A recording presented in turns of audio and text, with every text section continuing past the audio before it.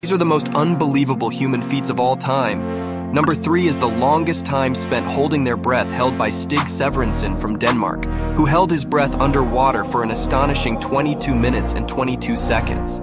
Next up is the highest number of hot dogs eaten held by Joey Chestnut, who devoured a mind-boggling 76 hot dogs with buns in just 10 minutes.